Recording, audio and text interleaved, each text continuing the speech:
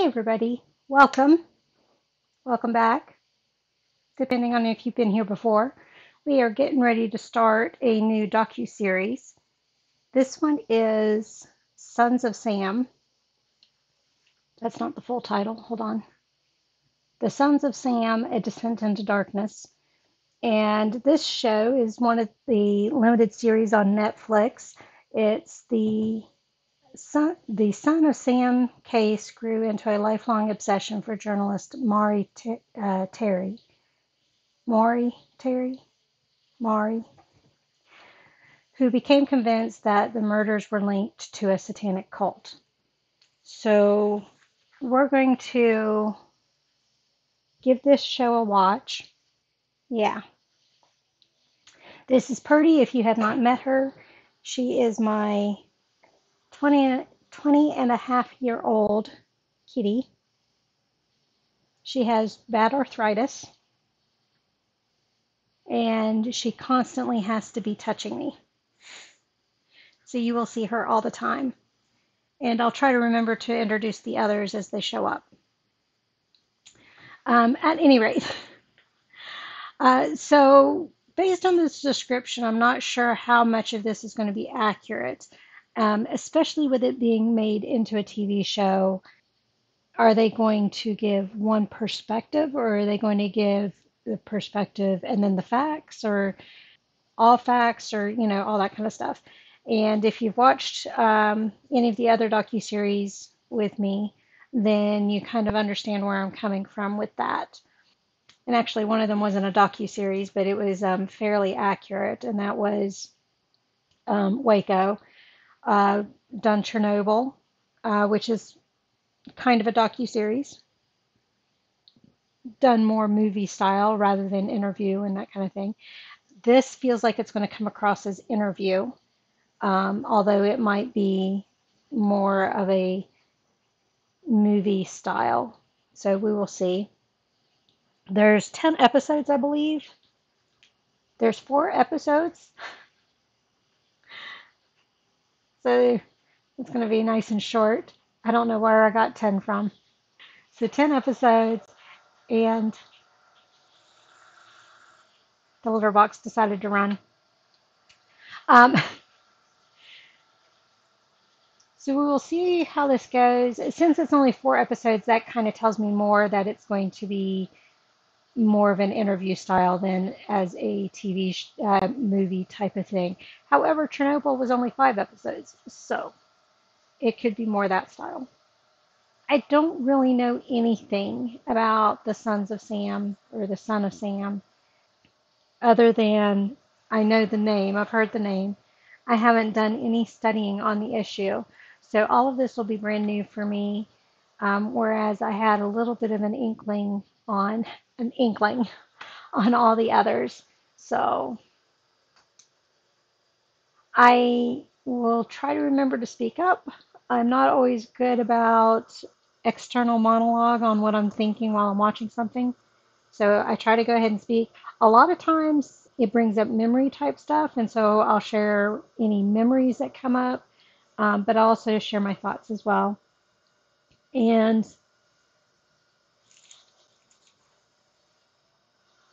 Takes her a while to get situated. And uh, I get distracted easily. And I don't know what's going on with my light. I haven't changed my light setting, but I look like I am a ghost, and I don't know why. I'm not a ghost. I have been standing for the last three hours. Yeah, about three hours, cutting up watermelon. Oh, there. I look normal again. It's the webcam. So it kind of sucks. That's all right. I get sidetracked easily. I will try to remember my external monologue, and I'm not really.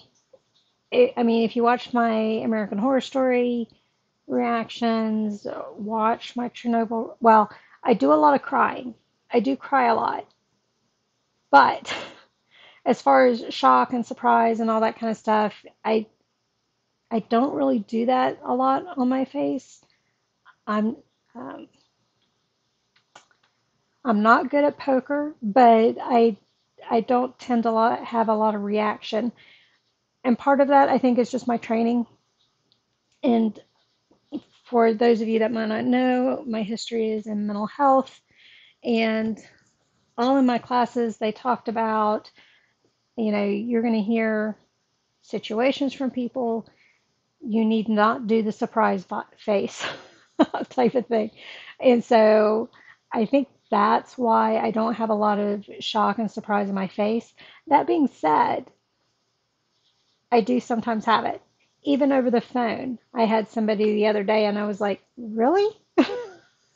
so the training doesn't always come through. So sometimes the shock and surprise comes through. If I jump at something, I'll try to say something out loud so that you know that I've jumped because I don't, it's not always noticeable. So, yeah. With that, and knowing nothing about the Son of Sam other than the name. Oh, and I think they talked about Son of Sam in Mindhunter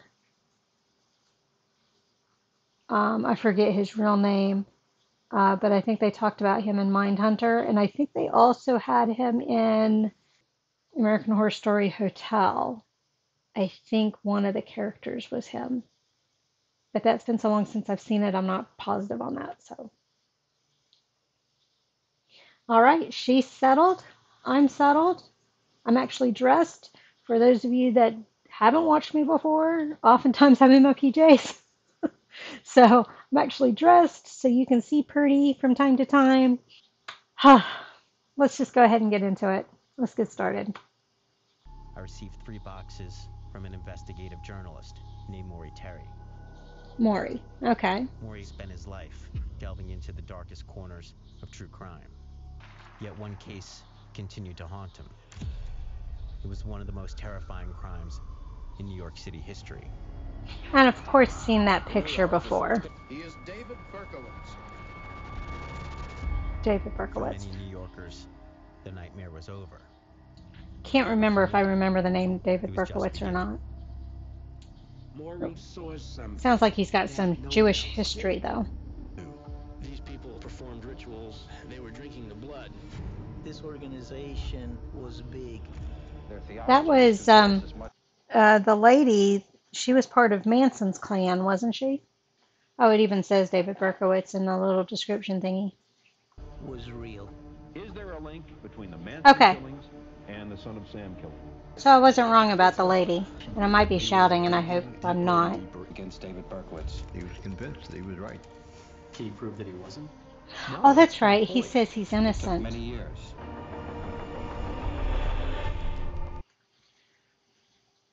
So I can't remember what show it was. I can't remember if it was a TV show or if it was another docu-series or what, or if it was a TV show based on true story stuff or you know that kind of thing. I don't know if it was American Horror Story or if it was Mindhunter or or one of the other things. But if if I'm remembering the case correctly, David Berkowitz has claimed innocence and has always claimed innocence, I believe. I thought I remembered what TV show it was, but I can't remember now. it's right on the tip of my tongue. So that might be why this journalist went down the rabbit hole of the satanic cult. And I'm assuming we're going to get the the path that led him to that, but but that might be why. One of the reasons. I really do hope this is not drawn out as long as the story on Lisa Lam, Elisa Lam was, where they they could have boiled it down to three episodes. Hopefully, it's the pacing of um, Richard Ramirez. Yet little did I know my curiosity would soon lure me into Pictures look like they're from a post-apocalyptic period. A ca- I was two years old. Now the police and firemen's unions in New York are calling it Fear City. I'm confused. If it had become known, if it had gone from Fun City to Fear City, and you got all this crime and death and all this going on, why would you cut back on the police force? Blasted through the car window, Donna was killed instantly. My wife comes screaming in the hall. Recorded it off of a VHS tape. I yelled to Rosemary, I said, you start the car up, get out of here. About Was she o'clock in the dead? morning- As long as I'm home by seven, my mother will never know I'm out. And he, he, his answer to me was, son, you were shot in the head. You're not going home. Mm. They usually resemble the person. Is there ever something which is completely different? Not often, not often. Uh, I think. Not often means that sometimes. And that's the first time I ever saw one that large. It took me back a little bit. This is the So it's a second the 44. last few. Are they all the same casings? At this point in our investigation, uh, we have no reason to believe that the cases are connected.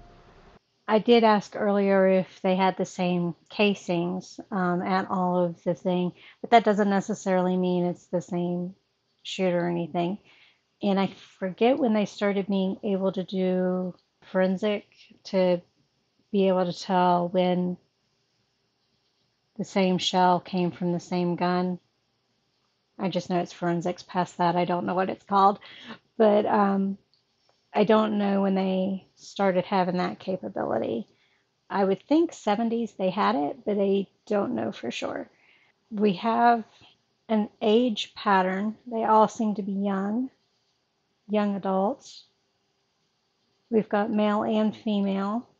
We got them all around the same area, like all around New York City. So it's not like it's happening in different states or different cities, although New York City is huge all in of itself.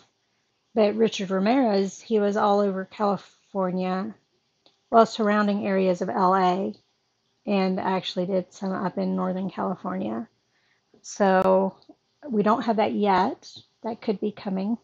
I can't recall if I was ever told if it was in other areas. This is Buddy. She's feral, which is why she does that when I go to pet her. See, I'm beautiful. I just like to be seen. I don't like to be touched. Unless you're going to scratch my back. That fur. but she likes to sit up there and look beautiful. Okay, back to the show. The ballistics detective called Okay, and said he had a match. so that answers that. And that was And Maury could tell you the artist, the name of the song, who the record company was. I can't. And what number it was on the charts at the current day. I don't can't. what it had for breakfast. Maury could rename every statistic about the sports teams that he followed. See, I don't get that either. He had that. He left a letter that was addressed to me. He signed it, Son Mr. of Joe Sam. Borelli, Queens Homicide. I'm deeply hurt by you calling me a women hater. I am not, but I am a monster. I am the son of Sam. When Father Sam gets drunk, he gets mean. I am the killer Beelzebub. Um, and I can't say that word, never have been able to say it. What year did Bohemian Rhapsody come out?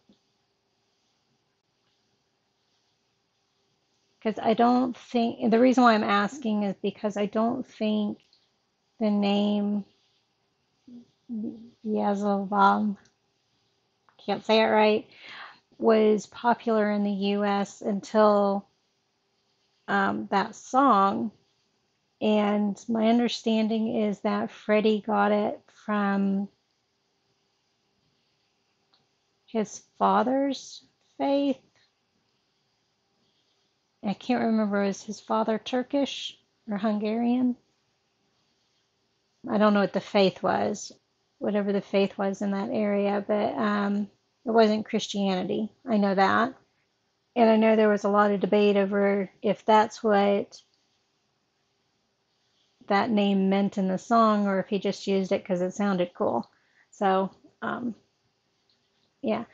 But I wonder if that's where he got it from. The language in that letter, Beelzebub. I've never heard of or seen before.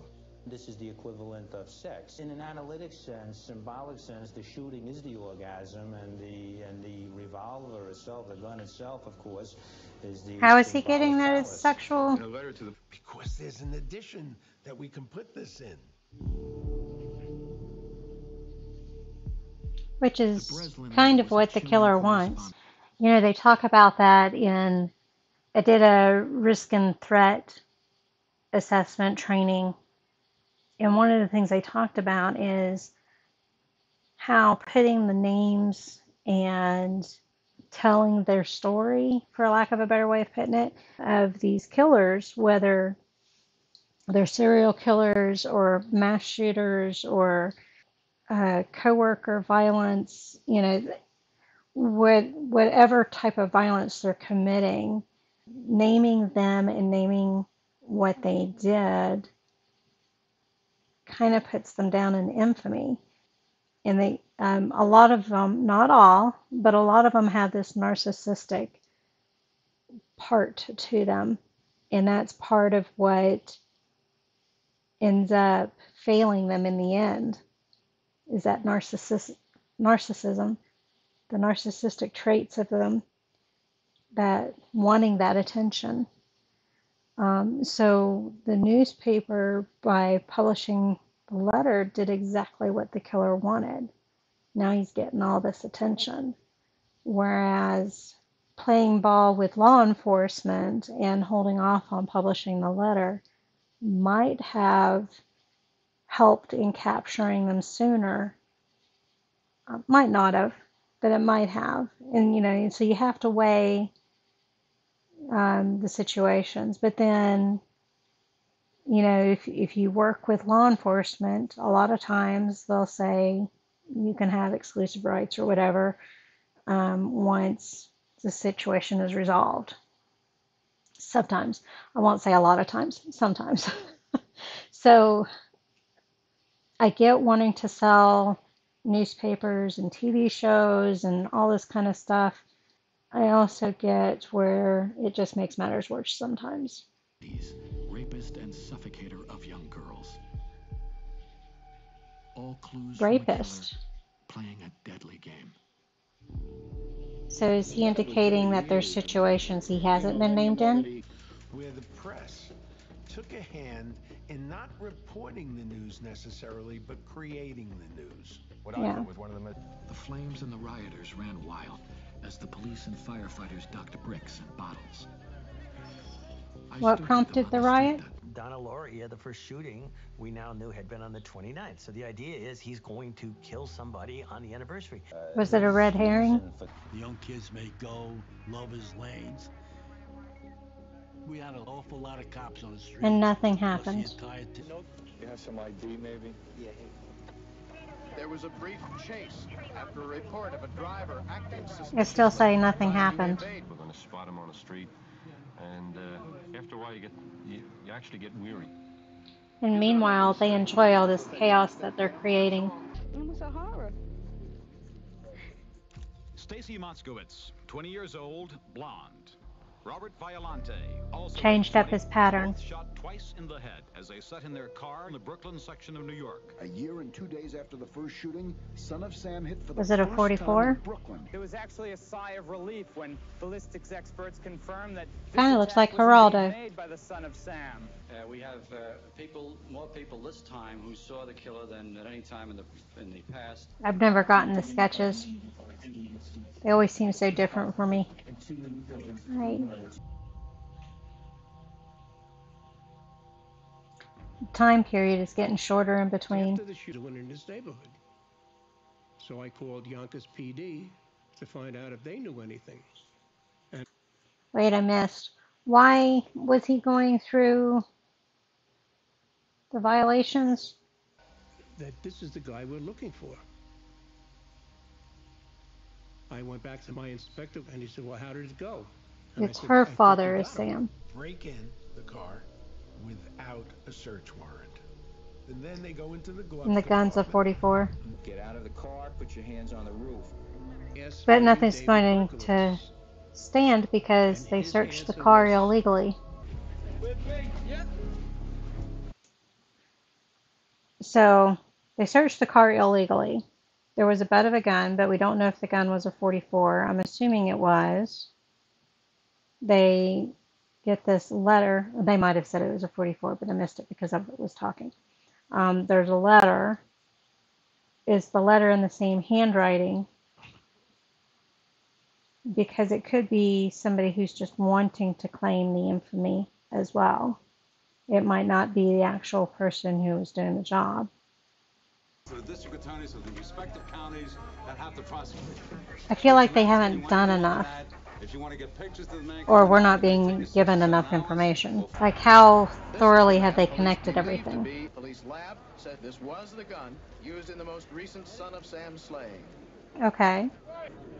And uh, he didn't resemble the recent set of sketches. When I walked in, The more thin face. I know we had the confession, we had the ballistics, all that matched. But all this was public information. So far, everything that they're sharing is public information. So if he's a copycat, you know, did they compare that gun to the other shootings? They said the last one, but he could have been a copycat. Plus, she was blonde. She wasn't a brunette with long hair. She was a blonde with short hair. Are there other differences? We haven't heard on if they've compared the handwriting in the letter found in his car to the other letters. I mean, this is, first of all, this is only the first episode. so, but I don't know how much of it they're going to go off on a tangent with the reporter who thinks it's linked to the satanic cults. So, not sure there.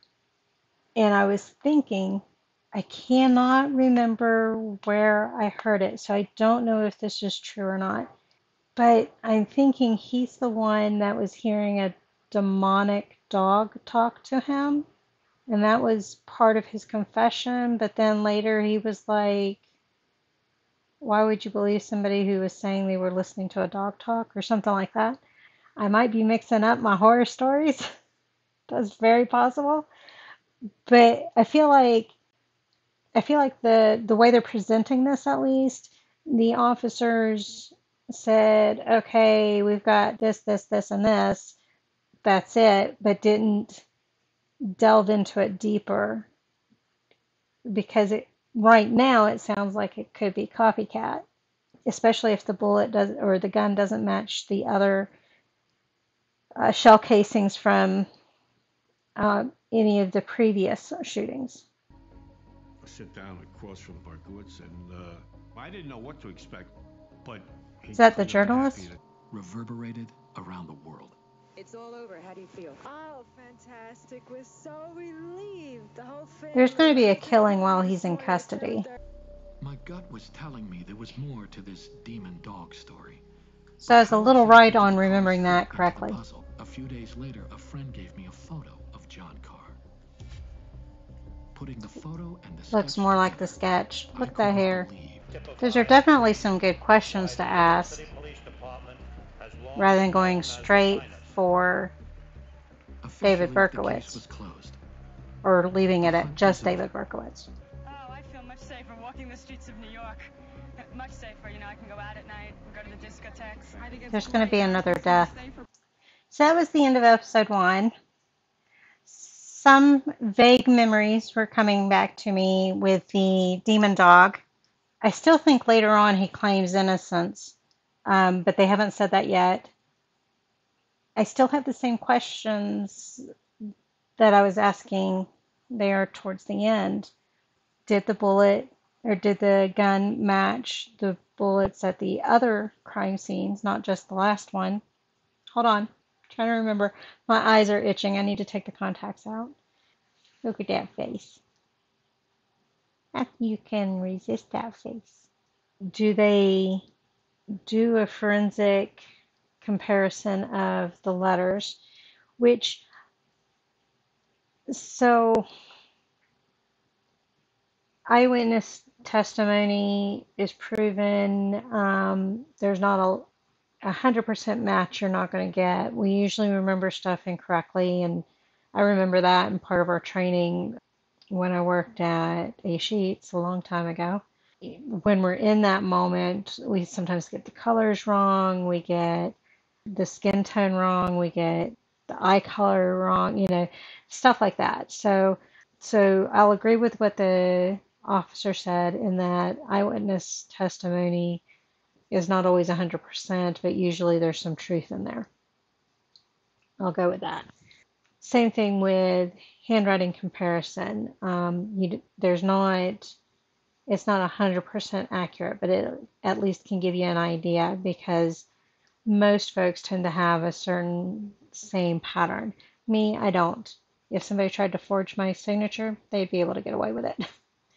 I think my signature is different every single time. but um, most folks tend to have the same pattern. I, I used to be able to forge my dad's signature, but he changed it. So I never did use it as a forgery. I know it's going to be hard to believe now that I said that, but I used to practice writing his name just in case I ever needed to write it. Um, I don't know why, because we lived with mom most of the time and she was the disciplinarian. Dad wasn't. So I don't know why I practiced using dad's name. Mom's I could never do. It was too fancy. So I want to know about the letter. Did they compare it to the other letters? Um, and not only the handwriting, but the, the pattern of the writing. You can get a feel for if somebody wrote the same letter. So, for example, I had a stalker, and the stalker wrote wrote two letters that they sent in the mail. I'm not going to say where they ended up at. They didn't end up at my house, but um, they wrote two letters, and one was in cursive and one was in print. And when I was uh, showing them to the sheriff, um, he explained that even though one was print and one was cursive, they could still be compared.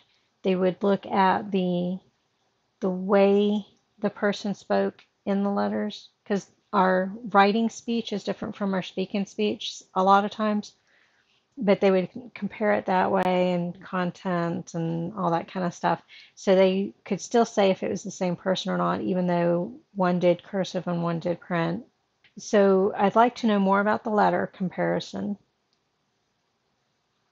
I would like to know about the gun and the other crime scenes. I would like to know why the woman in the last murder had blonde short hair rather than long brown hair or dark hair. I think they said all of the other women were dark hair, right? Or was it just most of them? And some of them it was hard to tell because it was black and white photos, so it, they looked kind of dirty blonde, light brown. So I'm, I'm not sure about those, but we'd have to go off of what the police report said for their hair color. I would say those are my two biggest questions. And the police seem to wrap it up so quickly, at least the way they're presenting it. I, w- I would hope when somebody is looking at a crime that they would sit down and say, okay, here's all the evidence we have for what is some of the evidence against it being this person. Is it possible still that somebody else was possibly the perpetrator? I did. I still don't know. I, I went back and played it a couple of times. Um, I still don't know how the summons got involved did they say that someone served a summons to a yellow car? It wasn't a VW. I I somehow missed how that summons came about. And I don't know if it's because the show just presented it real quickly or if there really was something to it. So I don't know about that. At any rate, so I have questions still, and hopefully they go into that a little bit, but um, we'll leave it at that. There was something else I was going to tell y'all, but I forget now. I will say, um, once this show ends, I'll be starting a new one. So if you are not part of my Discord and you want to say on what I watch next, the Discord is free. The link is down below. And uh, when I post the next poll, you can have a say in what I watch next. So it, only one person voted on this show. They got their wish. So um, if you want to say in my next show, uh, please join the Discord so that you can have a vote in that. I do have an Instagram as well. And depending on how fast I get it put together, I have a Facebook page for the acrylic pouring. I'm keeping it strictly for the acrylic pouring. So if you're interested in that, you can join. One other thing. Uh, my friend, my acquaintance, I don't know if he considers us friends, uh, but we went to high school together. He has a show on YouTube called Unsolved No More. And so after I finish The Son of Sam, Sons of Sam, I will watch his review and see what he says and what he points out and that sort of thing. Because uh, he has that episode. So if you are interested in watching that before my review, which I highly encourage, you watch his whole video because I'm only going to have bits and pieces. I will have the link in the description below so that you can watch it ahead of time. I think that's it that I need to let you all know. So thank you for joining me on this one, and I will see you guys on the next one. Bye.